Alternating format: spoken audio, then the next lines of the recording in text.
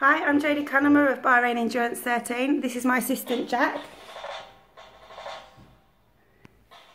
And we are going to show you how to make our favourite recovery drink from breastfeeding and training. Um, can't really call it a smoothie, but it's definitely a recovery drink in the way that I like them. Um, coffee is included in this. So one shot of espresso and espresso coffee. You can use um, ground ground beans if you want, I think, just as much caffeine as you want.